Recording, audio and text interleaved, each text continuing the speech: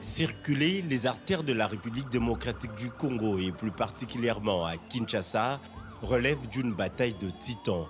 Si l'on y fait garde, la proximité est grande de voir son véhicule endommagé chaque jour. L'incivisme routier est désormais le maître mot. Véritable problème des sociétés qui nécessite une prise en charge urgente, tout le monde est pressé. Chauffeurs de taxi ou taxibus, bus, motos, véhicules à usage personnel, piétons. Les véhicules officiels ne sont pas épargnés. Griller le feu rouge n'est plus un obstacle.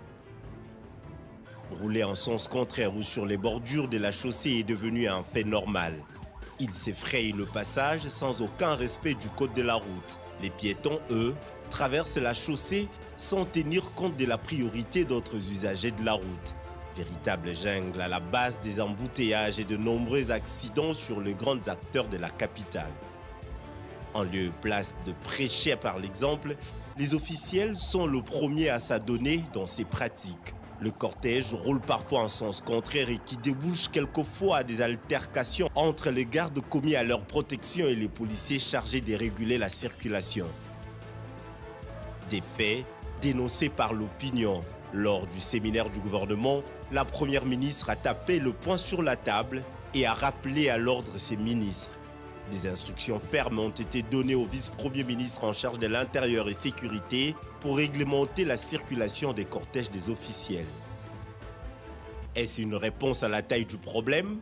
Est-ce une première décision prise par le gouvernement pour rétablir l'ordre dans ce secteur? Lors de la 36e réunion du Conseil des ministres du gouvernement Samalou Kondé, le président de la République avait exigé une solution durable pour ce problème sur tous les axes routiers de la capitale.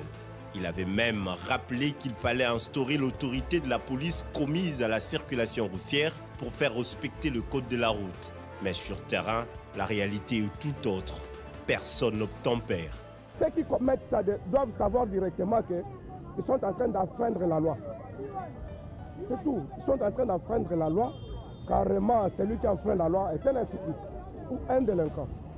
Donc que le bon sens revienne en eux. Que le bon sens revienne en eux. La violation du code de la route se comporte bien. Chacun dans ses mauvaises habitudes, priorité pressée. Les taxmen moto excellent avec une mention grande distinction. Tout le monde est dans les urgences, y compris ceux qui n'ont rien d'urgence. Et pourtant, le code de la route congolais comporte quatre règles d'or. Tout usager doit éviter tout comportement de nature à constituer un obstacle ou un danger sur la route, éviter de gêner la circulation ou de la rendre dangereuse, éviter de causer des dégâts à la voirie, enfin, signaler à temps aux autres usagers de la route tout obstacle occasionné sur la voie publique. Des règles censées être d'or, et pourtant ne les même pas en bronze. Les policiers commis à la régulation routière n'ont pas de place sur le podium des médailles. Malgré multiples rappels à l'ordre de la hiérarchie, ces agents se comportent plutôt en agents du désordre. Amis ennemis des conducteurs, ils sont accusés d'être parfois à la base de cette insécurité routière.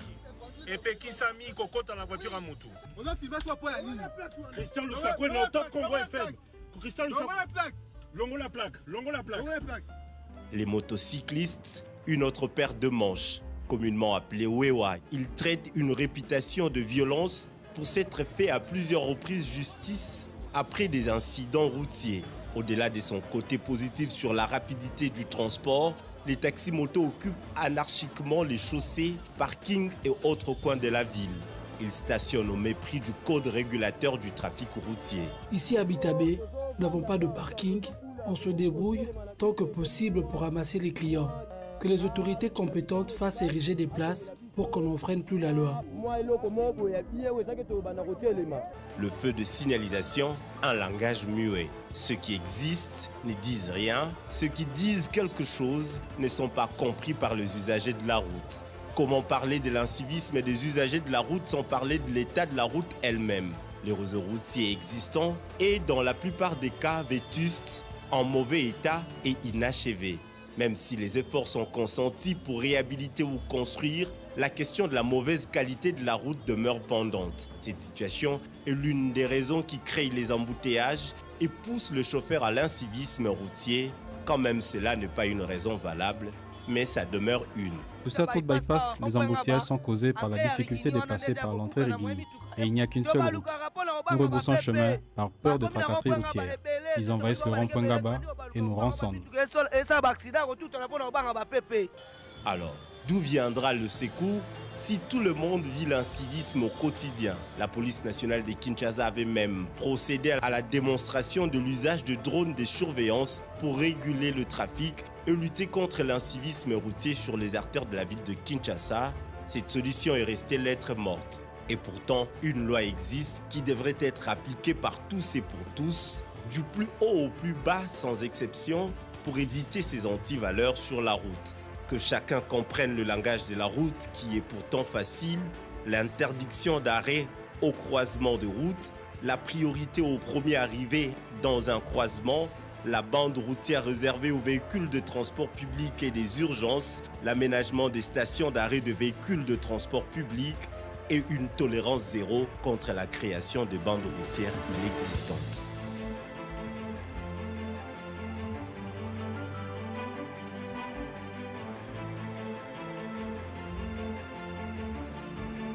Merci à tous de nous avoir suivis. Aimez et abonnez-vous massivement à notre chaîne YouTube Tribeca Media. Au revoir et à la prochaine.